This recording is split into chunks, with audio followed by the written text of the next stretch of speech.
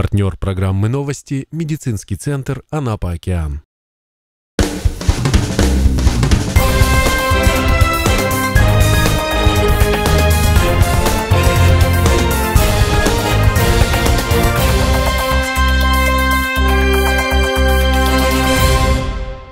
В эфире новости «Анапа регион». Я Ирина Меркурьева. Здравствуйте. О самом интересном на прошедших выходных и о сегодняшних событиях в Анапе.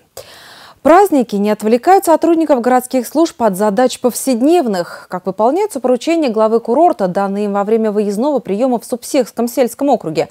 Большинство вопросов касались жилищно-коммунальной сферы. По некоторым уже идет работа. Водоканал готовит материалы для замены водопровода в Варваровке, а сельская администрация начинает ремонт дорог в Субсехе.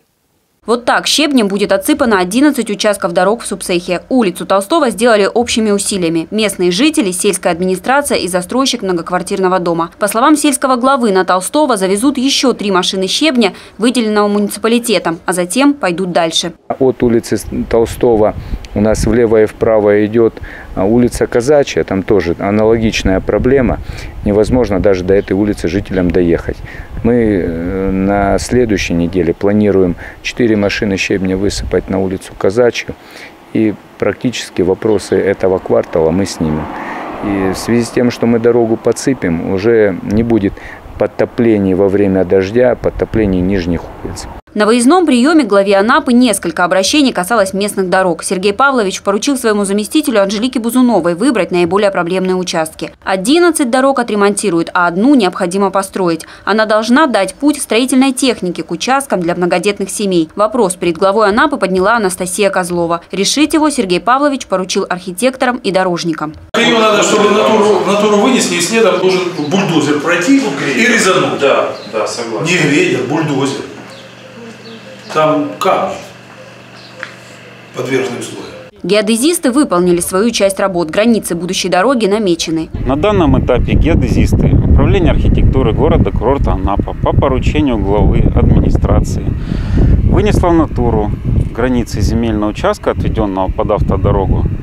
И следующим этапом в этом месте пройдет дорожная техника, которая произведет устройство автомобильной дороги для дальнейшего удобного доступа граждан к своим земельным участкам. Ждут положительного решения жителей домов на улице Калинина в Варваровке. Наталья Маслова, проводник многих благих дел в округе, обратилась к Сергею Павловичу с просьбой помочь построить муниципальную ветку водопровода. Муниципальное предприятие «Анапа Водоканал» и депутат округа объединят усилия для помощи людям. В Варваровке на улице Калинина водоканал берет на себя обязательства по э, приобретению трубы ПНД 110 миллиметров э, в размере 1 километра.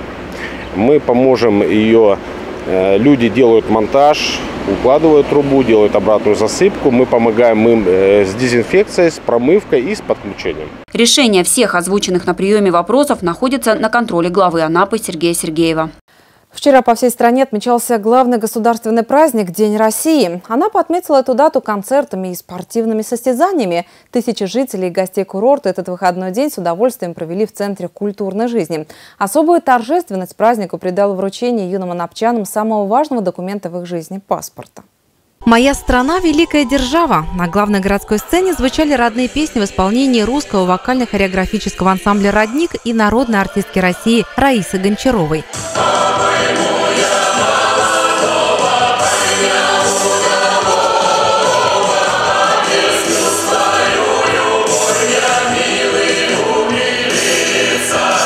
Народные, казачьи и популярные песни зажигательные номера сменяли лирическими. Многие жители и гости города-курорта подпевали артистам. Во время праздничной программы для 11 молодых анапчан наступил торжественный момент. Под аплодисменты юношам и девушкам вручили российские паспорта. Среди тех, кто вышел на сцену, Владислав Фланер. Этого дня он ожидал с нетерпением, а получить паспорт в День России для него приятно вдвойне. Много народу, легкое волнение.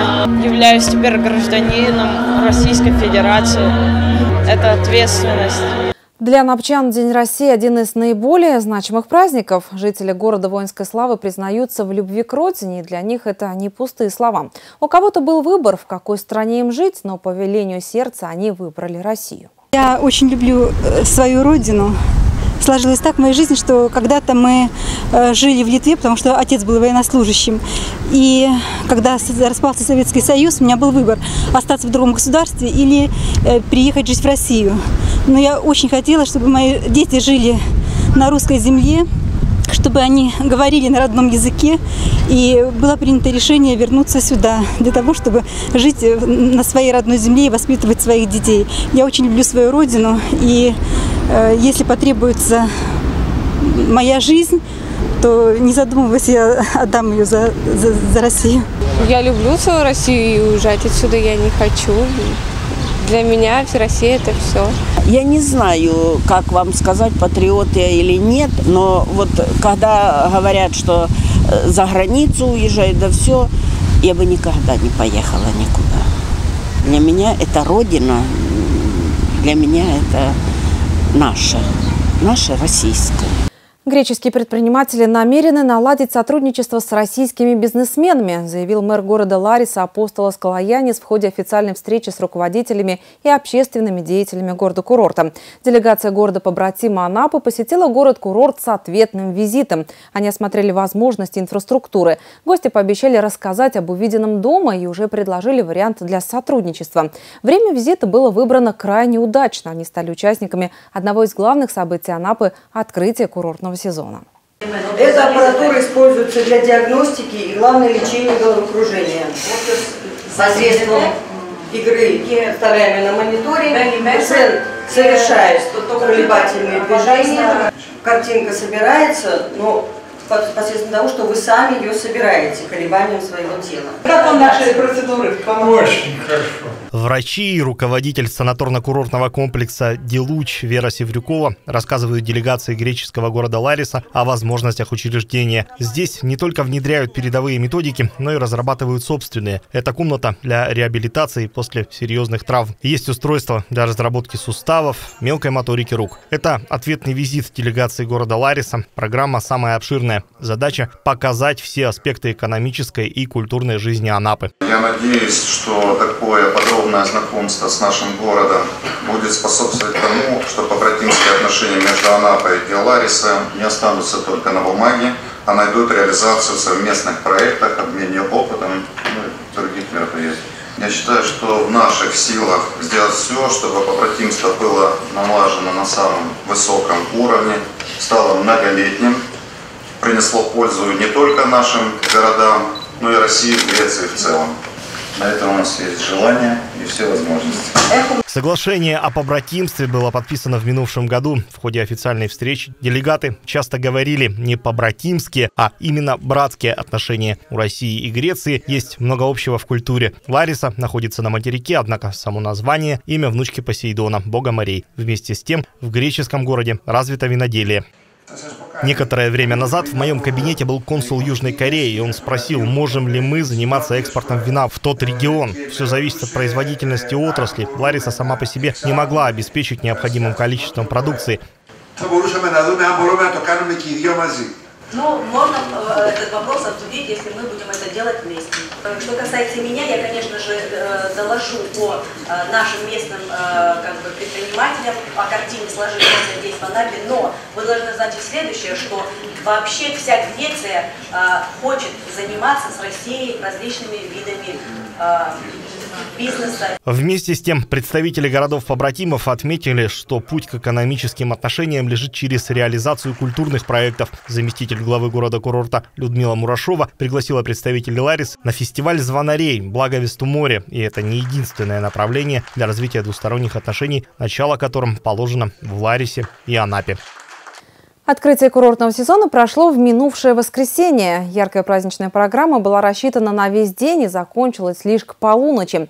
Более полутора тысяч юных отдыхающих утром 11 июня приняли участие в празднике на главном детском курорте страны. «Все будет круто» – так назвали первый танцевальный марафон. В городском управлении культуры решили, что должно быть больше участников, больше детских коллективов. Подготовка шла с начала года, однако на репетиции были отведены считанные дни. Представление самое масштабное масштабное за все время проведения таких церемоний, самый настоящий спектакль, наполненный символами лета и детства.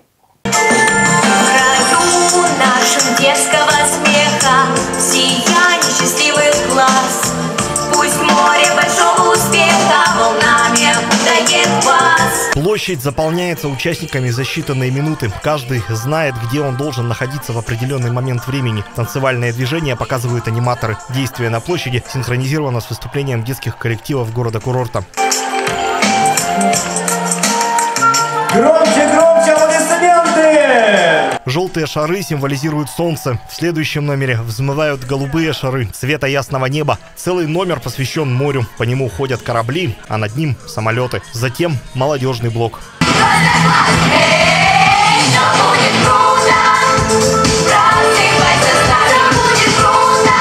Организаторы говорят, что главной идеей было сделать утреннюю зажигательную дискотеку для ребят со всей страны. Новое поколение,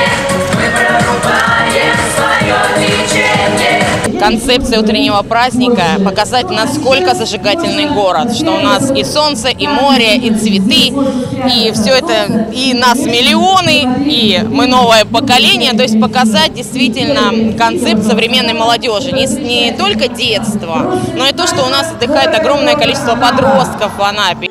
Целая команда специалистов начала прорабатывать саму идею и хореографическую основу еще с зимы. У каждого свой участок. К началу первой смены в детских лагерях был готов сценарий. Москвичка Анна Шингарева увлекается акробатикой. В Анапе отдыхает уже не первый раз. Первый раз, конечно, немножечко запутались, а потом на второй репетиции мы уже под ну, немножко порепетировали у себя в лагере уже пришли, уже готовы и все сделали хорошо. В Анапе я уже много раз бывала в лагерях тоже, вот сейчас уже где-то раз седьмой, наверное. Много нравится всего здесь. Настроение людей, погода теплая, хорошая, не подводит почти никогда.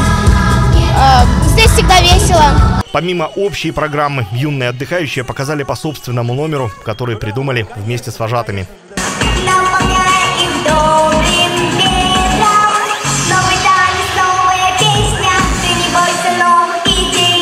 В каждом коллективе есть те, кто занимается танцами, а также и те, для кого хореография в новинку. Все друг друга поддерживали, выступая именно как команда. Как сказал один из участников, было не всегда просто, зато интересно и весело. Для ребят подготовка номеров еще один повод подружиться. В этом году в Анапе открылись 37 детских здравниц. Ожидается, что в них отдохнут порядка 350 тысяч юных жителей страны.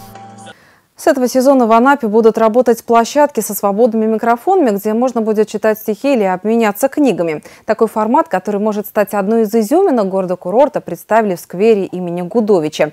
Не обошлось и без ставших традиционными здесь интерактивных площадок. Молодежный квартал уже полюбился и гостям, и жителям Анапы. Организаторы Управления по делам молодежи городской администрации и Молодежный центр «21 век» с каждым годом придумывают самые разные альтернативы пляжному отдыху. Если вдруг что-то будет непонятное, сразу делайте вот так, просто стряхивайте ее, хорошо? Там дальше поймете, что будет непонятное. Этот профессор.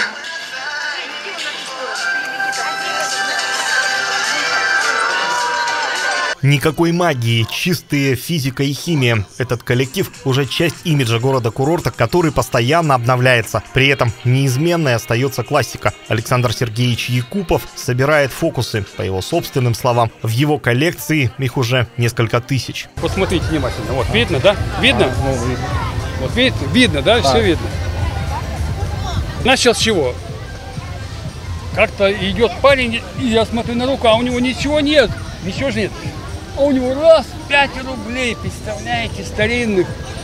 Потом он взял этих 5 рублей, тихонько так и выбросил. Хотел сделать просто уличный концерт, а мне раз поймали и говорят, ну-ка, покажи что-нибудь.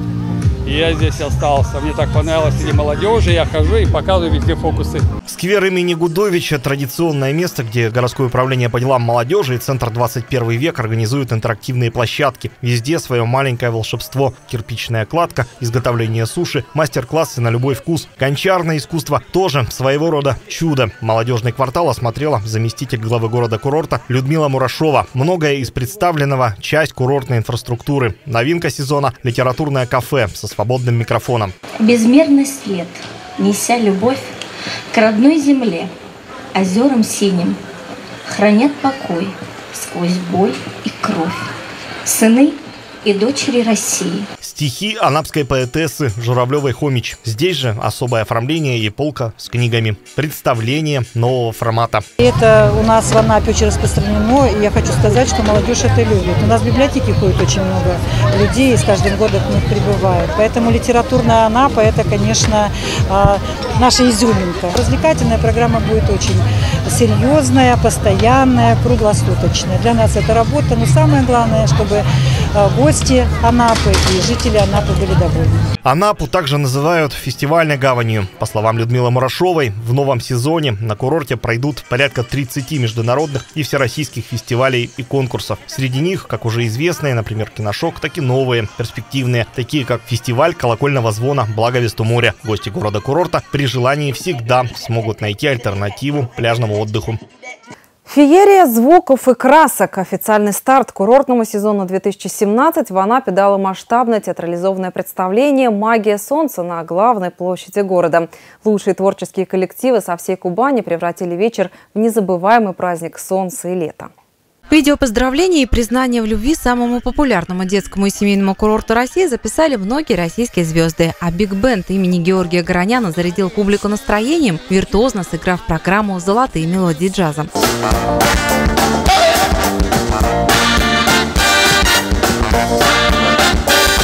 Марафон ярких номеров и эклектичных мелодий – так можно охарактеризовать концертную программу. В ней нашли отражение и страницы истории древнего города и статус Анапы как Всероссийской республики детства. Большой праздничный блок был посвящен знаменательной дате 80-летию Краснодарского края. Публика рукоплескала творческим коллективам, детям в карнавальных костюмах, демонстрирующим чудеса пластики атлетам, воздушным гимнастам и другим участникам торжества. С самым долгожданным летним праздником Анапу поздравили почетные гости. Министр курортов, туризма и олимпийского наследия Краснодарского края Христофор Константиниди передал жителям нашего города искренние слова поздравления от губернатора Кубани Вениамина Кондратьева. Для многих поколений россиян Анапа – это город солнца и счастливого детства. Отдых здесь праздник, который не забывается никогда. Анапа всегда гостеприимна. Миллионы туристов каждый год приезжают сюда насладиться теплым морем, ярким солнцем, зарядиться хорошим настроением и, конечно, поправить здоровье. Друзья, лето – это время, которого мы ждем с нетерпением весь год. Постарайтесь наполнить его яркими эмоциями и впечатлениями. С праздником глава администрации губернатор Краснодарского края Вениамин Иванович Кондратьев.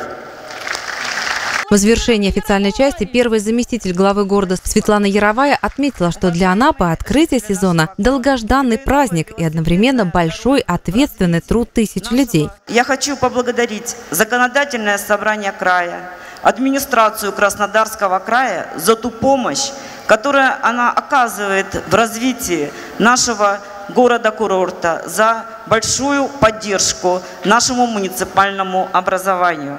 От имени главы муниципального образования Сергеева Сергея Павловича я желаю, чтобы наш с вами курортный сезон прошел успешно, чтобы гостей встречало теплое море, чтобы светило ласковое солнце, и чтобы каждый день, проведенный в нашем городе, был как праздник.